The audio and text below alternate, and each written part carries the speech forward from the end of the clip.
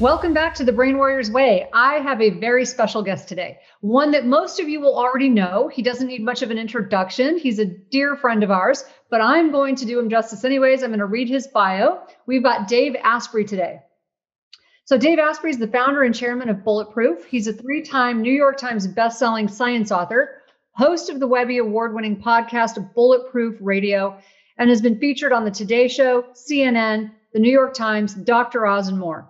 Over the last two decades, Dave, the father of biohacking, has worked with world renowned doctors, researchers, scientists, and global mavericks to uncover the latest, most innovative methods, techniques, and products for enhancing mental and physical performance.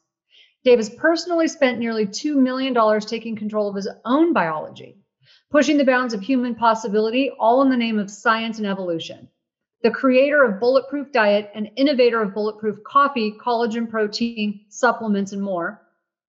More advances in commercial wellness products. Dave's mission is to empower the entire globe with information and knowledge that unlocks superhuman potential in everyone at any age. The proof of these sleep, energy, expanded capacity for all. Be a partner, parent, provider, and overall human human being in every aspect of life. Be proof, be bulletproof. Wow. Welcome, Dave. So nice to see you again. Uh, thank you. And thanks for that kind introduction. I'm, I'm feeling full of myself now. Well, it's, um, you know, it's funny. I'm reading this introduction and I know all of these things about you, but honestly, I know you as a person. And that's, it's been so much fun to know you all of these years.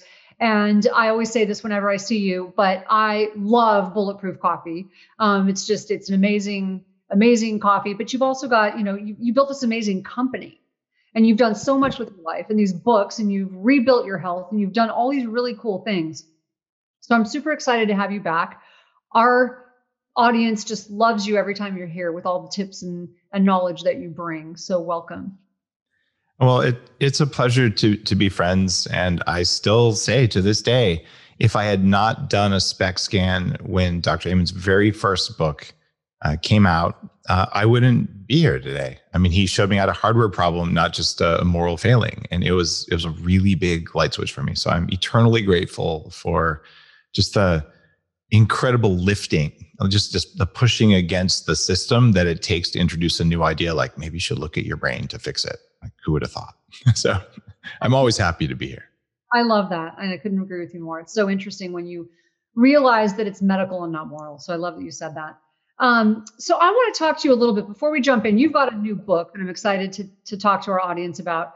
Um, but I want to hear a little bit about how you've been during COVID. What have you been doing um, since you are the father of biohacking and really taking control of your health? What has COVID, what challenges have you seen with COVID and what have you been doing to sort of get by and not just get by, but thrive?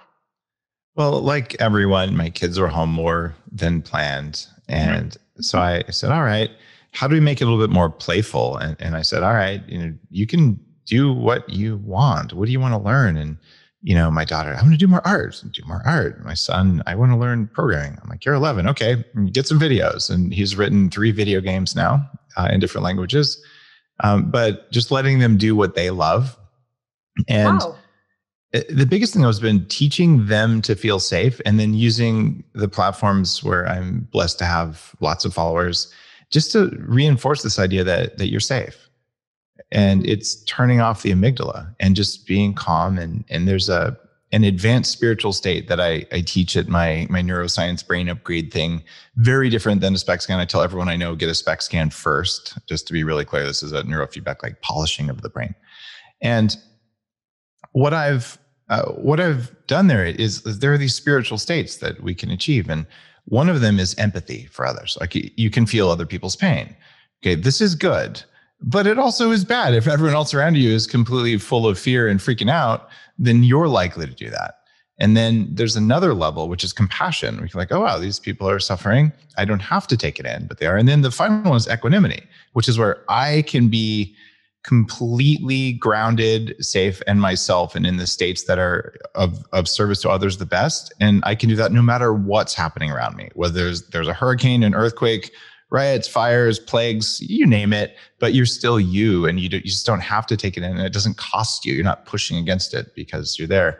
So I've been working on that state and working on helping uh, the people who follow me understand that that's possible and desirable and that you don't have to watch the news every day. And when you do that magically, maybe those voices in your head will shut up or at least get a little bit nicer. Oh, I could not agree with you more. It's amazing how when I don't turn the news on, you know, I go outside my backyard with a cup of green tea and I watch the hummingbirds, like everything feels great in the world, actually. It's hard to focus on all the negativity. The minute I turn the news on, I'm screaming at the TV. So you have more control yeah. you do, right? One of the things that's been really remarkable is there's been a huge shift in Google uh, over the last year. They stopped carrying health content, even in the search results. And I used to use Google News. And what I do now is I have an app called News 360, and you tell it what you care about, and you thumbs up or thumbs down every article they show you, and it learns what you like. So when I tune into the news there, I get a list of all the latest findings about our brains and mitochondria and human performance and kindness, and it filters out all the garbage. So I'm like, I don't care about all the garbage. And then once a day, I log into Google News just to remind myself, like, like just to analyze what's actually being fed to us versus what we want. And they're not even the same universe. Isn't interesting? It is. And really interesting. On my Instagram page, I'm dave.asprey. Yesterday, I posted the, the words of it be very afraid. That was it. That was the whole picture was be very afraid. And then I put the words be very afraid at the top of my little description. And then in parentheses, I put, we're going to test and see if the algorithm pushes this to the top of your feed. And hundreds and hundreds and hundreds of people like, Dave, I never see your stuff in my feed. And this was 11 hours ago and it's at the top of my feed. So the algorithms there, this isn't proof, but it's pretty obvious. The algorithms there are promoting fear and they're promoting an amygdala response because it makes more money. I don't think there's an evil guy there saying, I decided to do this. It's just what happens when you say we want attention because fear gets more attention than love.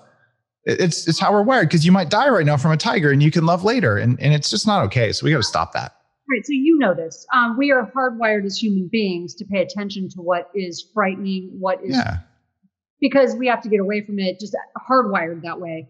Um, you know, what makes us happy, we can deal with later. In fact, I have a funny story just really fast with my husband. He was creating this game, this brain game, to teach people to pay attention to what um, is good, to what is yeah. happening, to settle down the amygdala, if you will. But as somebody who grew up in chaos and trauma and had a lot of childhood trauma, I'm playing this game. He's like, look, I want to help you focus on the things that are, you know, happy. So what you do is you focus on the happy faces and you ignore the scary faces and the sad faces. And I'm like tuning into this game and I like throw it at him. I'm like, this is the dumbest game. He goes, why? I go, because I don't care about the happy faces. When you've grown up like I do, you're paying attention to the threat. But in the minute I said it, I'm like, that's why the news does what they do. It, it's exactly why. And it's funny. I did the test there at Amen Clinics, and I think I see angry faces like yeah. three times faster than I see smiley faces. Uh, and it's where it ended. I had birth trauma, I was bullied, and, and things like that.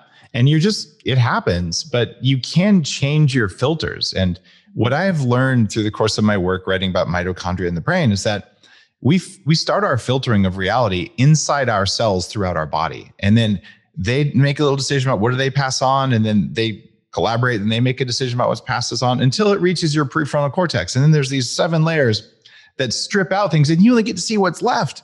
And if that is set to look for fear, it's going to find fear. And through the process of video games, through training, through meditation, through heart rate variability, all these different kinds of feedback, neurofeedback, breathing, almost every spiritual practice out there that's that aims to do that, you can change your filters. So all of a sudden you see the good stuff instead of seeing the bad stuff. I, I want to play this game. I'll probably suck at it too. That's awesome. I know, I love that. So um we're going to dig into your book in the next episode, but show us your book now. All I right. Let's see. This might be my best book ever uh, in terms of readability and just content and usability. I'm I'm pretty excited about it. It's called Fast This Way. Fast This Way, and it's all about what you need to know about fasting, right? Well, there's there's lots of books. Okay, I'll write a book on fasting for you right now. Step one: don't eat for a while. Step two: here's a bunch of science. Okay, there. I wrote it. I wrote a book, and there's actually several really good books like that out there. I did not write that book. It wasn't necessary. This is how to actually do it so that you'll do it and how to do it without fear, without pain, without hunger, so that you don't have to push your way through a fast. And so it isn't like a form of torture and deprivation. And it includes things like what is a spiritual fast and what is the ideal intermittent fasting window for you? What's different for women and men? What supplements are okay during a fast? So this is the the, the really usable from 10 plus years of fasting and teaching millions of people how to do it. Oh, that's so interesting. So I'm actually really interested to hear what you've learned, um, what's new and what's going on with that. So fast this way. I'm excited to dig into that. So we're going to come back and talk about fast this way. And but in the meantime, if you for everybody listening and watching right now, I want to know what you've learned in this episode. If you would tag Dave, tag me, take a screenshot and post it, I would be grateful. And we want to hear from you. We want to know your questions, your concerns, what's going on with you during COVID. Um, I loved the the levels that you were talking about of spirituality and learning. Um, I thought that was amazing. So that's what I learned. I Thank you. Really cool. Um, so we're going to come back, and when we do, we're going to talk about fast this way. See you in a minute.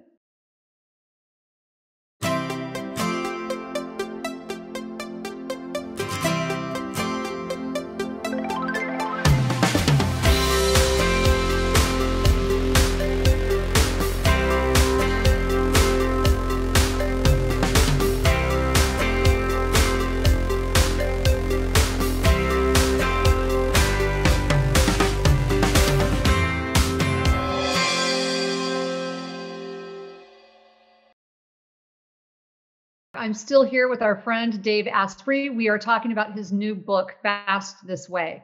And one thing I can always count on Dave to do is know what is current in science. So I'm really excited to hear what's what's going on. What has he learned, and how? Um, I know, Dave, you said in the last episode this is not just a book about science. So I want to know what you've put in this book to make it practical and easy for people. Um, what are the surprising things about fasting that you're going to teach us?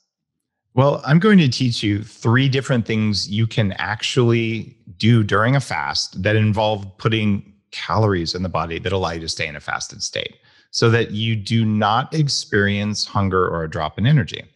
Because it's really easy to be like, oh, I don't have kids, there's not a pandemic, and I have all the money in the world. So I just sit here and I wake up every morning and I drink my green tea and I meditate for two hours. Then my trainer comes over and like, I'd like that life. I don't know, I'm kind of busy. That doesn't work for me. Um, and when I weighed 300 pounds, it really didn't work for me because I would get hypoglycemia, right? And like you're yelling at everyone and you're tired and you can't pay attention. And say that term again. hypoglycemia. That's what I am. Now you just labeled it. and it it's almost a, it's it's unkind to tell someone, "Oh, you're fat." You just need to exercise more and eat less. And I did that for years and it's torture and it does not work, which is why I did the whole bulletproof diet. And people have lost a million pounds on the bulletproof diet now without suffering. And with fasting, you tell someone who's overweight, oh, just you know, don't eat for a while. And they're like, I think I can do it, but I'm spending all of my time thinking about muffins. in, in fact, I found a study, Tana, that I published in the book um, that shows that 15% or more of the average person's thoughts during the day are about what's for their next meal.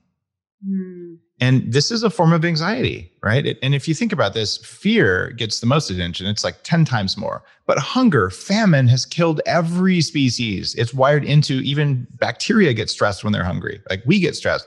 So if that's five times more energy than it really deserves, no wonder it's hard to fast, right? Your brain's thinking about scary stuff and it's thinking about food all the time. And you have this much left to think about what you want to do and who you are and you know how to parent and all the things that that we all do. So I thought, all right, what if instead of forcing our way through fasting, we actually hacked our way through fasting? So that when you want to feel the feel the feelings feel the hunger and really push through it you're doing it in a spiritual context when you've set aside time and energy to do that. But when you want the metabolic benefits when you want to have you want to lose weight you want your brain to work you want the focus of fasting you can do that without the pain. And there were three three hacks that emerge but to do all this even before I published my first blog posts on fasting 10 years ago and on intermittent fasting and using bulletproof coffee and all that, I realized that I was afraid of being hungry because we're told if you don't eat six meals a day, you'll go into starvation mode, which is death, right? And it is a lie, but we still believe it. And your cells certainly want to eat all the time. They're wired to do that because they're just dumb little cells. They don't have your brain backing them. So it's like, what did I do? I said, there's that. Oh, and I'm afraid of being alone. And I hadn't really picked that up until I started doing some personal growth work So I hired a shaman to drop me in a cave in the desert for four days with no food and no people. So I could face my fear of being hungry and I could face my fear of humans, and there was nothing I could do about it. And I'm like, if I lose my, you know what? Um, well, then no one's going to see me and I can yell inside the cave and it'll echo. But like, I'm just going to have to deal with this uh, because that's what I want to do. And I tell that story throughout the arc of the book. So it's a very readable book and it's pretty personal. I'm like, this is what actually happened. And this is the dumb fears that ran through my head. Here's when my amygdala gets activated. You know, here's, you know, when I got this burst of energy I didn't expect. And knowing those fasting hacks, though, means you don't have to go through the suffering. It is unnecessary, it's mean. And the people who say you can only have water during a fast, they're doing that because that's what the mice did in studies, because mice don't have espresso machines. Like they, they never looked, they never look for what works best. They just like, well, we'll give them water and see what happens. But there's there's no reason to be, I call them like hair shirt fasters. You know what a hair shirt is? No. So there's these weird sects of monks, and they make shirts out of human hair because they're super itchy and scratchy, and then they like whip themselves on their back oh, because oh, yeah. they're such bad people. They self-flagellate and wear hair shirts so they can suffer more.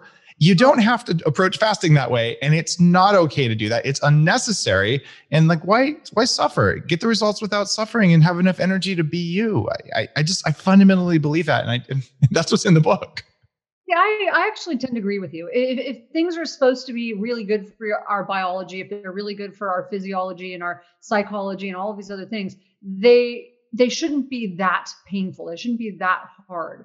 Um, so when you're talking about fasting, I mean, we know fasting is good for you. Daniel and I are huge fans of intermittent fasting because your brain cleans itself when you're yes. fasting. Your autophagy for your brain is just it's it's really really good for your brain. But are you talking about intermittent fasting? Are you talking about long term fasting? What kind of fasting are you talking about? I talk about both. And there's a really good argument for not always fasting the same way every day. And there's an even better argument for not always fasting. And I read about something called the fasting trap, which is suspiciously similar to the keto trap, which is suspiciously similar to the vegan trap. Mm-hmm. And here's how these traps work they're based on human behavior. And it, I was a raw vegan for a long time uh, and it broke me and i had to create the bulletproof diet to get better so it doesn't seem to work for people's brains sorry you can get away with it when you're really young you'll just pay for it when you're old and the the thing that's happening within our bodies when we we do any of these practices okay let's say you go vegan. Well for about four to six weeks you're going to feel really really good. And that's because you're changing the type of fat in your cell membranes for bad fats. And then your body freaks out and it gives you more energy as your thyroid goes up. And then you feel great. And by the time six weeks happens, I've lost some weight. I felt really good. I know the vegan diet works. And then you start feeling like crap, but it can't be the vegan diet because it works and you're in the habit of it. So you're like, maybe I should be more vegan. I guess I won't have that honey because it was touched by a bee. And you become like militant. Meanwhile, your health is declining. Right. And eventually you're like, okay, I'm done. I'm just getting a burger. And then, you, you know, the lights come back on.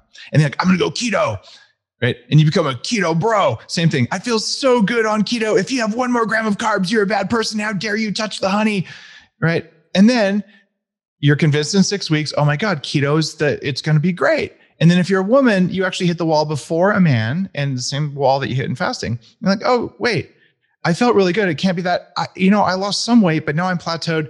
It's because I'm having 15 grams of carbs. I'll have only 12 right? And you start becoming perfectionist and you're stuck and then your health starts to go down and your hair starts to fall out and you can't sleep anymore, just like you did when you were a vegan. And you're like, okay, that's it. I'll just eat some crap for a while and then you feel better. And then you say, oh, let me start fasting. And then you do the same thing. If intermittent fasting is good, I'll go to one meal a day fasting. I'll just not even eat that. And then, oh, I'll just fast like three days a week. And eventually you hit the fasting wall, which is because some of it's good doesn't mean more of it's better. And I've seen this twice now in my life with vegan and keto, where people go all in. And part of the problem here is, especially for women, you don't need to fast every morning. It probably won't work for you, but it might. And for men, you probably don't need to fast every morning. It might work for you. In fact, it probably will work for you, but it might not. And one of the biggest messages in the book is don't fast the same way every day. Don't overfast. And every now and then just have the pancakes for breakfast, but make sure they're gluten free. And if you do that, it's going to work really well. And if you become militant, I'm telling you, step one for men and women is, oh, I don't sleep very well. Wonder what just happened. Huh, it can't be, it can't be this new fasting thing because it's so good for me. And then for men, they wake up without a kickstand right? And women before that, like, weird, my cycle's all messed up. And then both men and women were like, oh, weird, my hair is getting thin. I wonder what's going on here. And it's predictable. And it's it's like Goldilocks was right. Just right, not too much, not too little. That's the goal. And that's what's missing from a lot of the fasting literature. Just because it's good for you doesn't mean you should stop eating. I could not agree with you more. You literally like described my life for 20 years. Like the mine the, too. those extremes. Just if something's good, more has to be better. And I'd hit that wall and it just, it never worked. So I couldn't agree with you more. Um, so when you talk about fasting different ways, uh, give us, before we end this episode, what is a way someone can get started? Should they start with intermittent fasting? Should they start with a three day fast? What should they do? You should start with an intermittent fast and you should start with one of the three fasting hacks that I want to go through in the next episode because those are going to make it a very gentle entry into fasting and you won't lose your ability to function like a lot of people do, especially if they have some weight to lose. Um, so this is how to gently go in. I love that. That is so perfect. Um, so I um, can't wait to hear your hacks because I I love when you said that mice don't have espresso machines. So I have a feeling there might be some coffee involved. My whole day is all I can say with that.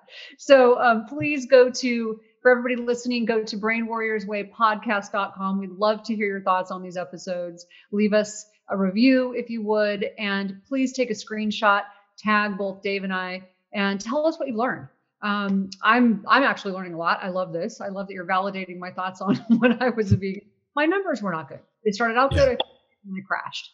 Um, but I agree with you. I, I agree that when you do too much of anything and you don't balance it out, you're asking for so I'm looking forward to the next episode and hearing your hacks on fasting. Stay with us.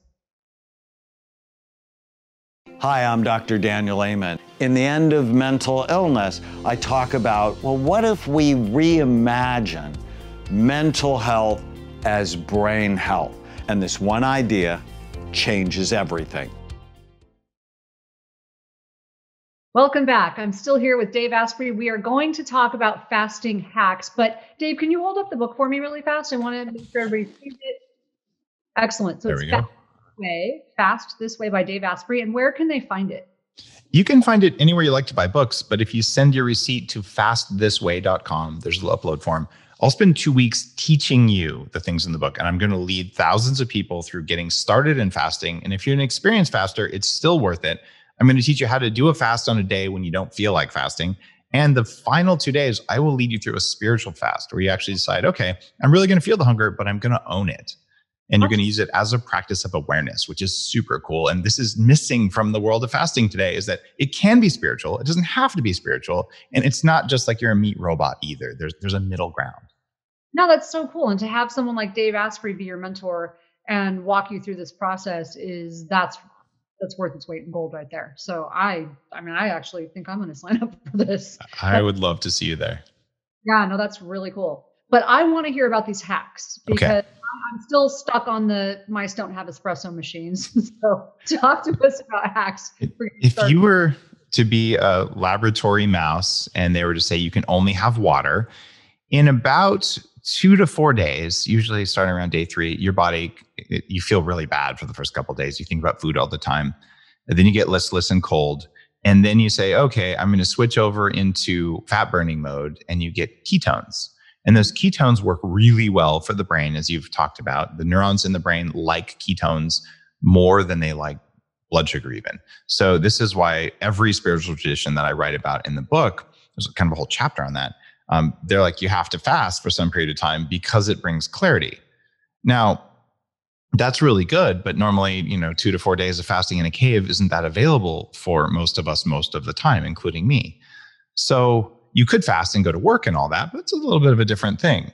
So what do we do to get that that day three, day four experience where you stop caring about food and you have mental clarity? How do you get that on the first day you fast? And that means raising ketones in a safe and effective way. And there's three hacks that shut down hunger hormones, and ketones is one of them. And here's how that works. There's a study from UC San Diego that shows that drinking two small cups of coffee, or more specifically, the amount of caffeine contained in two small cups of coffee. So you could use caffeine pills if you don't like coffee or something, but that doubles ketone production oh. in the morning. So, so if you have an early dinner, which is much better than a late dinner, So you eat at six, you go to bed at 10, you've already fasted for four hours, you sleep for eight hours, you got 12 hours, you have a cup of coffee. Now you've amplified the ketones your body's wanting to make, right? And then you wait till lunch and you've just gone 18 hours without eating. And it really just felt like you skipped breakfast, even though you went a pretty good amount of time. Uh, for me, I'm about 24 hours into a fast right now, and I'm not even the slightest bit hungry. I'm just not caring about it uh, because I understand these hacks. So the first hack, black coffee. The second hack, go ahead. That's a really interesting point because um, I kind of have the opposite problem with a lot of people. I tend to forget to eat. I know it irritates people, but I, I'll be busy. I'm busy and I forget to eat. But I, I have I have bulletproof coffee for breakfast. So I actually, I mean, I'll have you know coffee. Um, I don't have a ton of it, but literally I'm full by the time I'm done. Is that why? I never really thought about that. Oh, I'm, that's part of it is the caffeine. It's funny because you just hit the second hack, which is bulletproof coffee. And there's some people that like, you can't have bulletproof coffee. It has calories. I'm like, I'm not a mouse. And here's here's here's what's going on. Okay, I wrote this in 2011 about protein fasting and how it triggers something called mTOR. Um, actually, it doesn't trigger; it suppresses something called mTOR, which is something that happens during a fast. So as long as you don't raise insulin and you don't eat any protein, you can have moderate amounts of the right fats during a fast and you still have autophagy, which is the cellular cleanup, the cellular cleanup in the brain. You can have mitophagy, which is in the mitochondria inside the cells, clean themselves up or just kill the weak ones and grow strong young ones. So when you do this right, and yes, I'm not I'm, I'm not trying to sell bulletproof coffee. I've sold lots of bulletproof coffee. It won't change my life. If anyone listening does or doesn't drink bulletproof, it'll change theirs. So what you're doing is you're putting a little bit of butter. It doesn't have to be a lot. It doesn't have to be tablespoons. It can be if you need it to be to get through the day and you put this C8 MCT oil, um, the stuff that I call brain octane. And there's other people have copied it. There's various sources of, of MCT out there. Just make sure it's the C8, not the full spectrum MCT, because that stuff doesn't work. And then you put it in there and you blend it. And it's vitally important that you blend it. And here's what I've never shared before, Tana.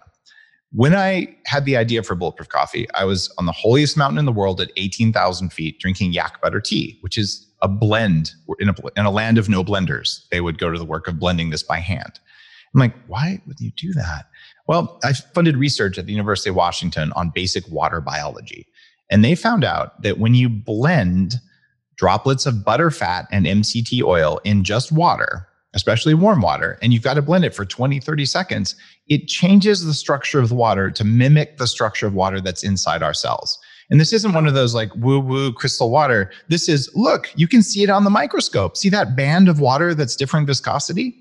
And they found that the largest, it's called an exclusion zone they've ever seen was based uh, around from what water does around droplets of butterfat. So when you do this, when you drink that during a fast, even with just like like a quarter teaspoon in there, as long as you blend it a lot, you're changing the structure of the water. Otherwise, when you drink a glass of normal water, your body has to make body heat to transform the water, not just to heat it up, but to change it into usable water. Well, you're using a blender to do that for you. So then during the fast, you don't get the cold and chills, and you can actually go to the trouble of doing the things inside your cells that your body wants to do during a fast. It just can't do.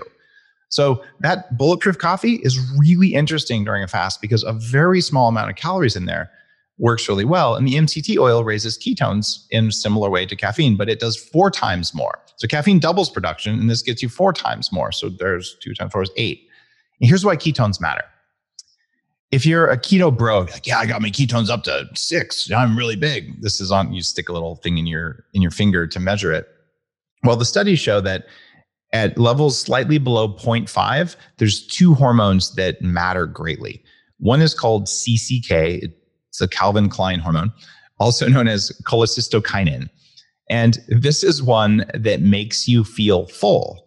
And another hormone that makes you feel hungry is called ghrelin, which you guys have talked about before.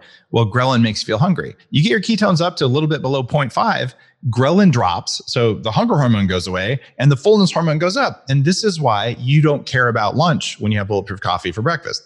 So as long as you don't put collagen or any other protein or any other fake sweetener, you can do monk fruit or stevia if you want, but no, you know, NutraSweet and other brain toxic things like that.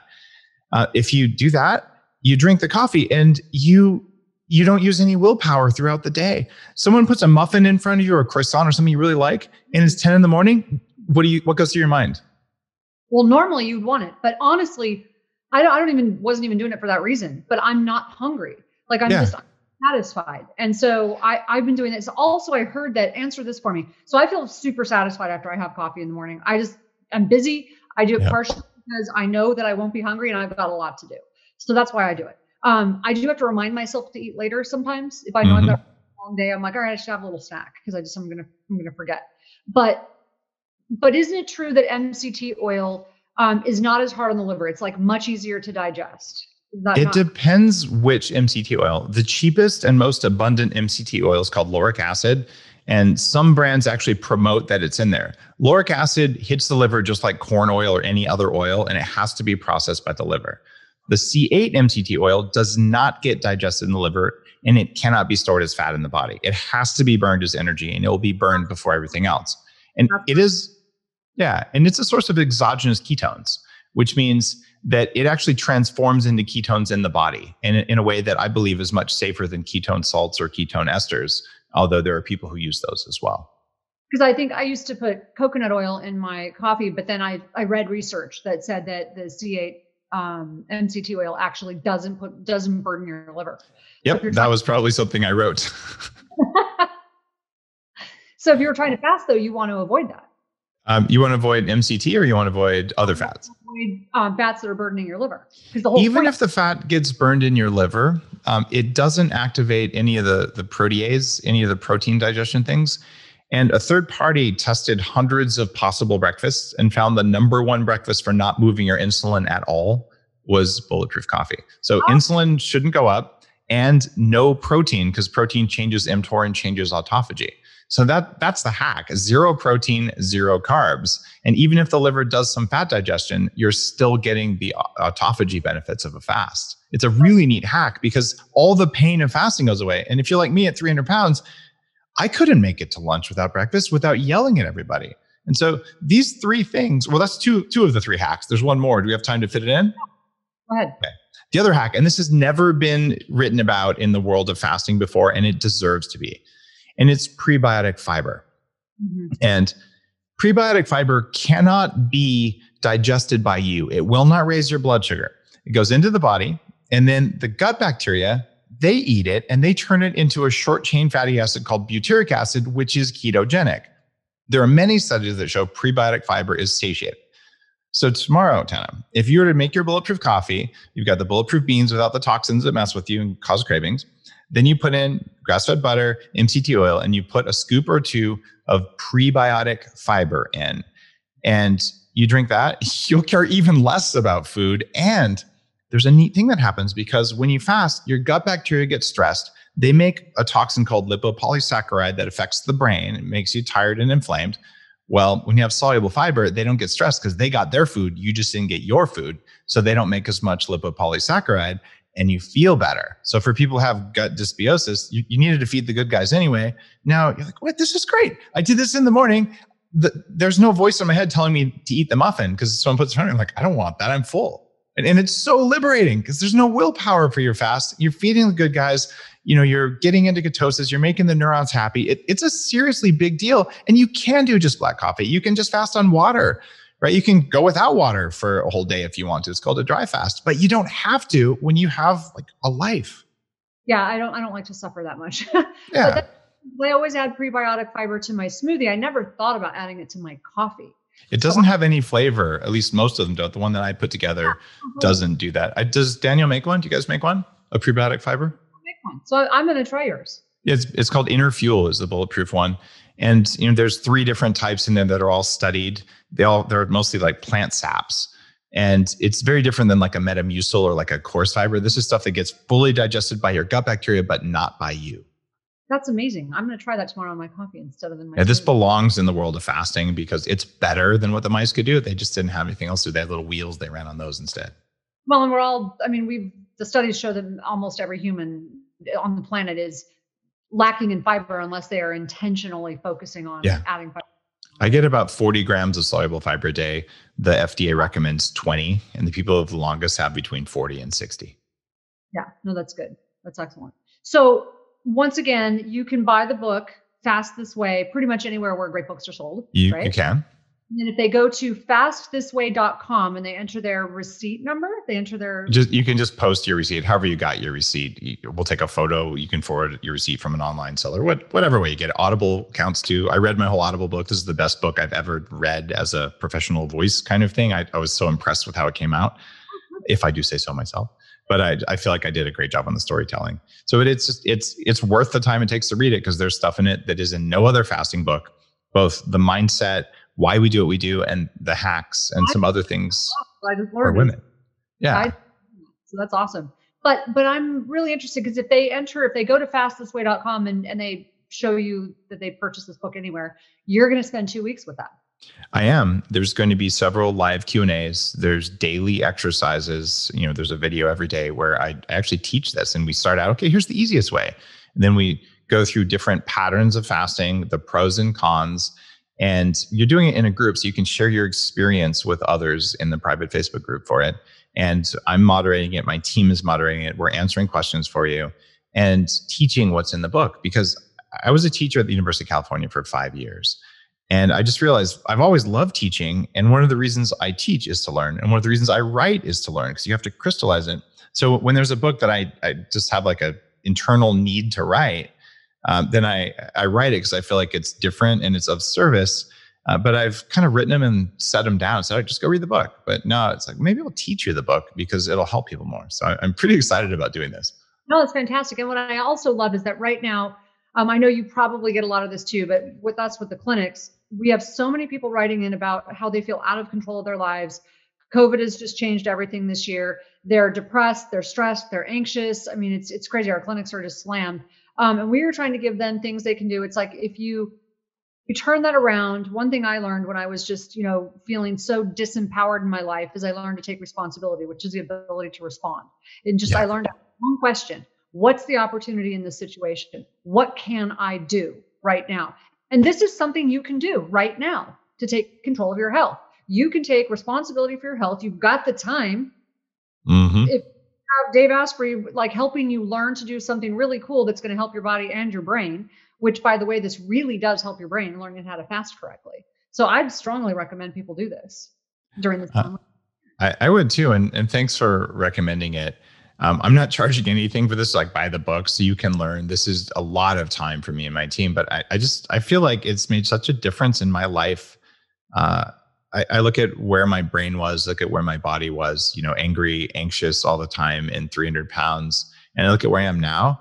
And th- there's two things that matter. And a lot of this uh, was inspired by the work that you guys do. There's the amount of energy you put into all the voices in your head, the automatic negative thoughts, right? And then there's just the amount of energy you make. And I'm okay, let me show you how to make the most energy possible. And that gives you so much energy. You can now get in charge of the voices in your head. As you turn those down, that energy returns to your pool of available energy too. So you turn off the fear voices, you turn off the hunger voices, and you crank up the amount of raw energy you make. And you're like, what just happened? I have so much energy. I want to go do stuff. Right. And and that's resilience. And that's what everyone really wants. Well, there's one thing I want to say about you and some of our other friends that you know we spend time with. And you know, I've always said I want to be the least intelligent, the least accomplished, the least giving person in my community because seriously, people are contagious, right? So if I can find people in my, in my group that are purposeful and educated and always doing good things in the world, then that's going to rub off on me. And that's how I've always felt about that. And, you know, you're a super successful guy. We all know that. But the fact that you're still focusing on purposeful things, I think it's part of why you're doing so well, especially during the pandemic. Maybe I'm wrong, but I. Do you know how boring it is to just do a job to get paid? Yes, especially right now. So, it's so boring.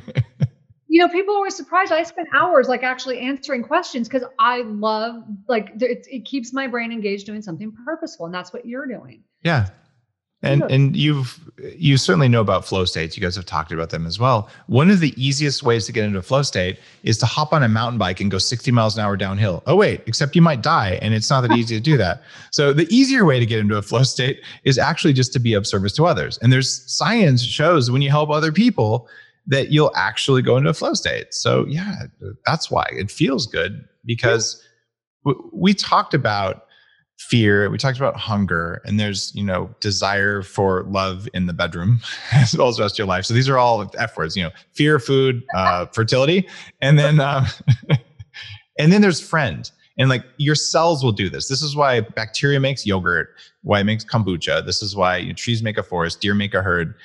And this is why we're wired in our cells to be nice to each other and to support each other it's just hard to do that if all your energy goes to the first two or three F words. Mm. And this is at the core of all my work. Turn up the energy you have, and you have enough energy to teach yourself to be less afraid and less hungry and to put love in your life. And what's left is a desire to help other people. So we're supposed to be nice to each other. That's fantastic. I love it. So, Fast This Way, um, go to fastthisway.com, get Dave Asprey as your coach. Um, I mean, I can't think of anything better to do at this time. We are going to come back in the next episode. I want we have one left, but before we come back, I want people to um, tell us what you learned. I mean, I learned a ton in this episode. So tell us what you learned if you would. You can also go to brainwarriorswaypodcast.com, leave us comments, questions. Um, we want to hear from you. Leave us a review and um, post this if you would. Tag someone, tag a friend, and tag Dave and I. We would love to hear from you.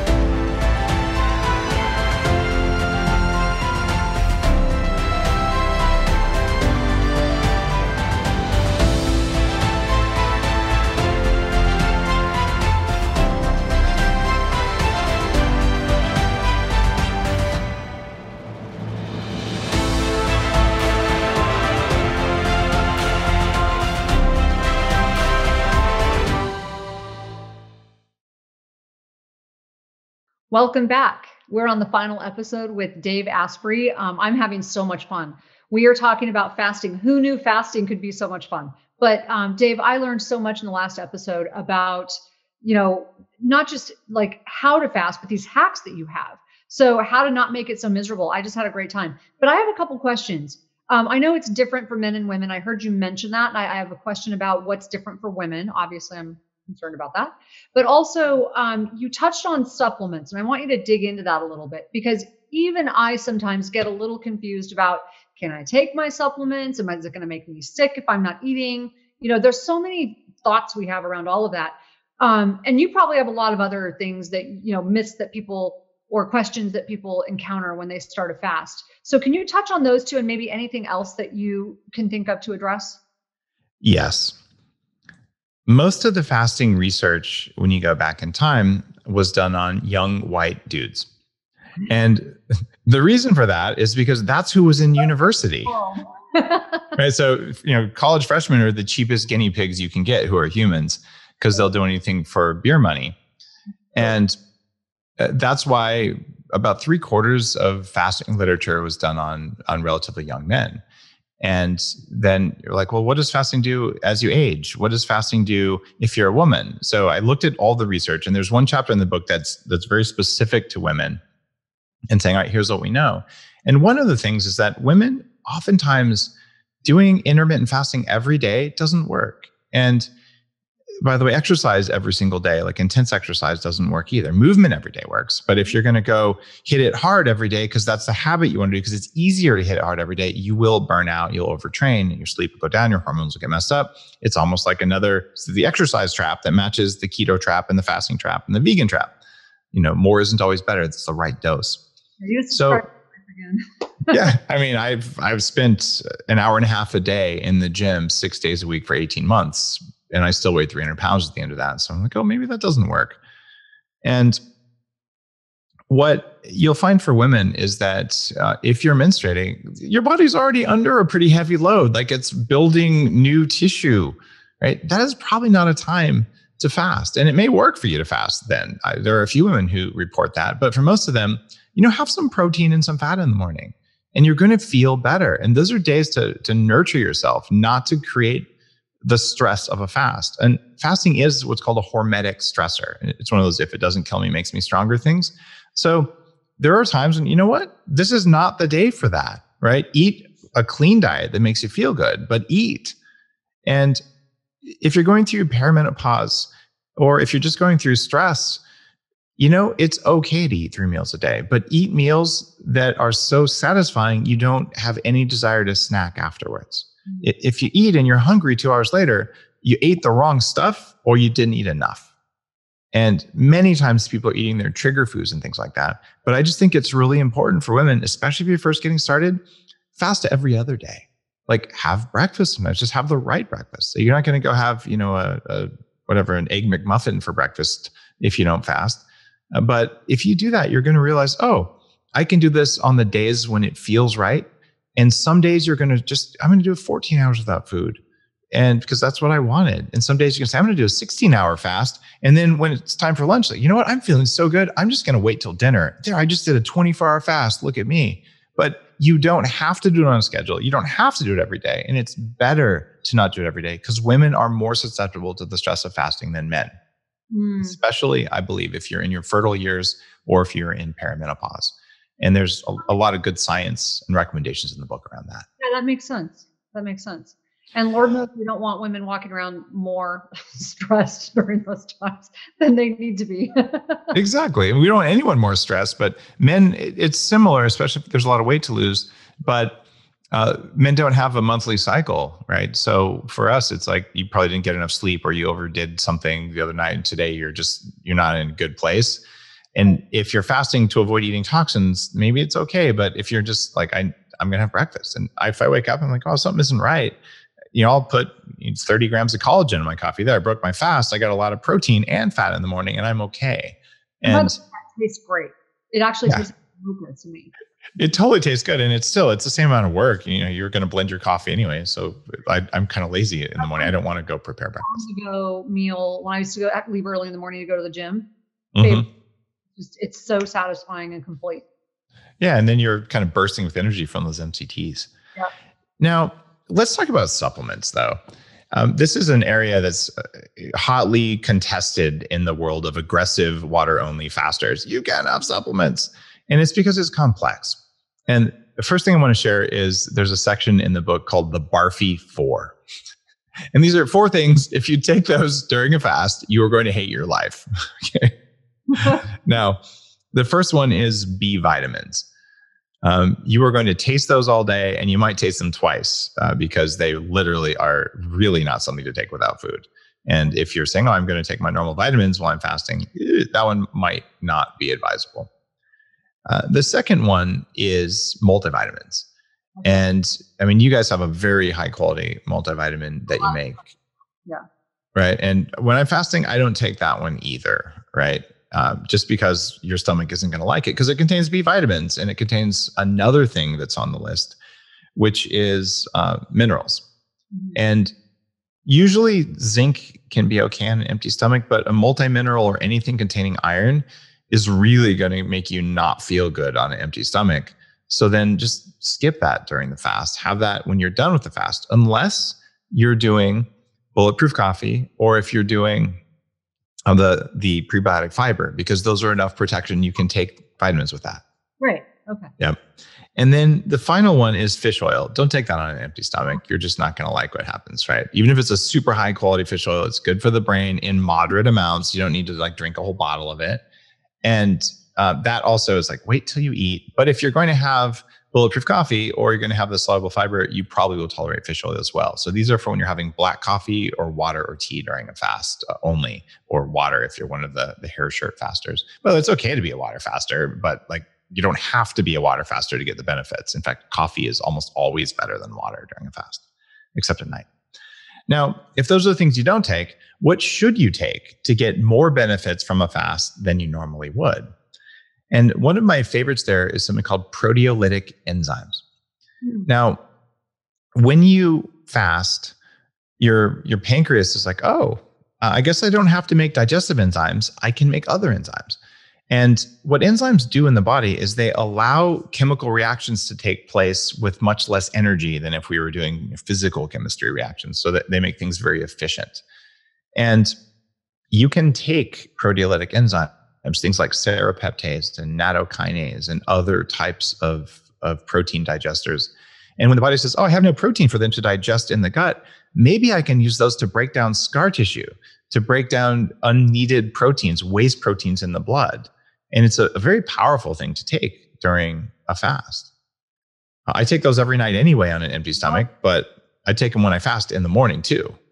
Oh, that's so interesting. I did not know that. Yeah, you'll you'll find over time massive changes, even scars that you've had for a long time. Like if someone's had a C-section or an, a car accident or something, those scars get softer because the body's like, I got nothing else to do with all this stuff. Let me break down stuff I don't need. And they even break down autoimmune molecules that are in your uh, in your body which is really cool. Wow, that's so cool. And the other massively important, just massively important thing when you're fasting, probably the most important supplement that I write about in Fast This Way is to deal with another problem. When you fast, you generally lose fat, and your body stores mold toxins called mycotoxins. It stores extra estrogen. It stores PCBs, environmental pollutants. It stores uh, heavy metals in your fat. And if you melt a lot of fat all at the same time, all of that toxin is going to go to your liver. Your liver can only oxidize so much of it, and then it gets recirculated and sometimes even put into the brain. Unless there was something present in your stomach that could just stick to those things as they get excreted. And it is one of the world's oldest, maybe the world's oldest supplement. It's called activated charcoal. Mm. And Activated charcoal sticks to every one of the types of toxins I just mentioned. And so, as they're recirculating through the biliary system, through the bile in your liver, um, well, the activated charcoal is right there. They're electrically attracted to it, and then you poop the toxins out instead of experiencing brain fog. Mm. And the more you fast, the more you're losing weight rapidly, the more important it is to deal with the toxins so they don't go into your brain. So, what I do is at some point during the day, away from any medications and away from enzymes, I will take my activated charcoal during a fast. And the side benefit of that is it sticks to this bad stuff that gut bacteria make called LPS or lipopolysaccharide we talked about in an earlier episode. And this stuff makes the brain inflamed and it makes you hungry and it makes you angry and gives you cravings. It's a toxin from stress bacteria. Activated charcoal sticks to that toxin so you don't have to experience it. So you want to have a super awesome fast, you start out the morning with the most energy possible. Do your bulletproof coffee put in your prebiotic fiber, drink that, wait a little while, have some activated charcoal, and you're like, I am so golden today. This is the best day I've had in a long time. I don't care about food. I'm not distracted. I have super clarity in my brain. And it's a very different experience than I had a glass of water this morning. Like it'll be a different day, but you're still going to have the ability to lose weight. You're still going to burn fat. You're still going to get autophagy. You're just going to like your life better. That's so interesting. That was so helpful about the supplements. Like that's really, really helpful. I, I, did a lot of research on this, and there's a, a handful of actually more than that, probably a dozen other supplements that you can take during a fast. And I just rank them like this is worth taking, this is not worth taking. You can take this, but you might not absorb as much. Uh, we talk about vitamin D, vitamin A, vitamin K2, and all sorts of other things. So it's it's complex, but it's not that hard to understand. And I really worked hard to lay it out in a way that was uh, that was accessible for people. In, so in you go into all of those in the book. Each one of them, yeah. I love that. Okay, so fast this way. Um, it just sounds like it's just loaded with information. I can't wait to actually read it. I think I'm going to sign up for your course. I think that just sounds awesome. I mean, I've learned so much in this time, and I pride myself on staying on top of stuff. So this is really, really um, very thorough. Thank you. Yeah, no, this is cool. So Fast This Way, you can buy it anywhere books are sold. And if you go to fastthisway.com, you get to have Dave Asprey as your coach and his team for a couple weeks. So, um, highly recommend that. Also, please um, go to the Brain Warriors Way podcast.com and tell us what you've learned. Leave it in the comments section. Would love to hear from you. Leave us a review, question, comment. And if you would tag a friend, take a screenshot, tag a friend, tag Dave, tag me, and um, give us your best questions, your best concerns, and anything you've learned. We love to hear from you. So, Dave, any parting comments before we go about COVID, um, about what's going on with you, about fasting? Yes. There is a part of a chapter in Fast This Way where there's great research out there about when to eat and when to fast, depending on what kind of infection you have. Oh. And I don't want to give away all the secrets in there because it's a little bit more complex than this. But studies show that if you're dealing with a virus, you should eat and you should eat some carbs, but not sugar. And I go into all the details about why and where and how to tell which is which. And if you have a bacterial infection, the rules are different. Uh, so there's good research there, and fasting can be used to change the time you go to sleep. It can it can be used to change the time you wake up. It can be used during an illness, and I go through all that. And this is what's missing from the don't eat for a while, and here's all the reasons to do it. The nuances are here, and they're very powerful. Just when you know what to do. I love that. That's fantastic. Um, so you can take control of your health. You can be proactive. You can take responsibility for where you're at. Do something positive during this crazy time um, fast this way. And we're so grateful to you, Dave. As always, you've been a good friend. You are just a great colleague and so purposeful and so helpful. Tana, thank you. I so appreciate your work. I appreciate Daniel's work. You guys really have changed my life. And I would not have graduated from business school without your work. And I certainly wouldn't be doing all my bulletproof stuff. I'd probably be uh, homeless. So thank you. And the world is a better place because of you. If you're enjoying the Brain Warriors Way podcast, please don't forget to subscribe so you'll always know when there's a new episode. And while you're at it, feel free to give us a review or five star rating, as that helps others find the podcast. If you're interested in coming to Amen Clinics, use the code PODCAST10 to get a 10% discount on a full evaluation at amenclinics.com. For more information, give us a call at 855 978 1363.